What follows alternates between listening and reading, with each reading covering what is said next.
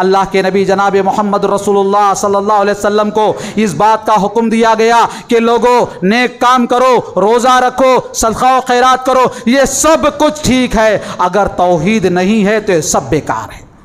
तोहीद नहीं है तो सब बेकार है। इसलिए अपने आप को शिरक से बचाओ। हशर के मैदान में हमारा रोज़ा, हमारे सदका खैरात, हमारी नमाजें, ये सब उसी वक्त काम आएगी जब हमारे अंदर तोहीद हो।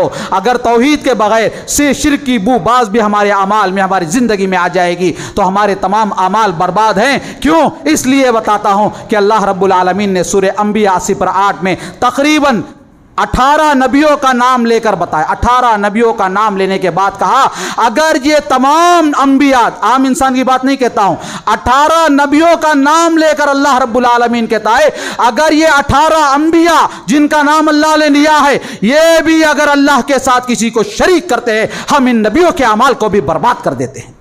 ये अठारह नबियों का ज़िक्र ऐसे है। उसके बाद अल्लाह रब्बुल आलमीन ने एक और जगह नबियों के सरदार जनाब मोहम्मद रसूलुल्लाह वसल्लम से मुखातब होकर कहा, लाइन अशरतना लयाफतन्ना अमलक। अय मोहम्मद, अगर तुम भी शिरक करोगे ना, तुम्हारी भी नेकियाँ बर्बाद कर देंगे हम। लिहाजा याद रखिए दोस्तों, शिरक हमारे अमाल को बर्बाद करता है। हम नेक का नेक काम करें, रोज़ा रखे, सदका खैरात करें, कुरान की तिलावत करें, सब कुछ करें, लेकिन शिरक से अपने आप को बचाए रखें। यही पैगाम मुझे आपके सामने देना था। आखिर